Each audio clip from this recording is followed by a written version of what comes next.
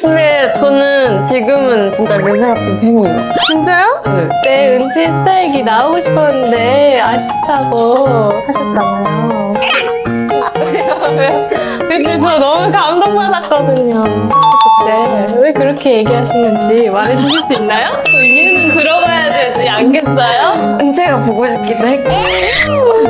그리고 컴백하면 이제 이거 하시더라고요. 그래가지고. 네, 우리는 안 불러주시나 했어. 누가 안 부르셨어요? 누구예요? 어, 귀엽다. During their encore stage on Music Core, Nayeon was spotted congratulating Yoonjae with a big smile.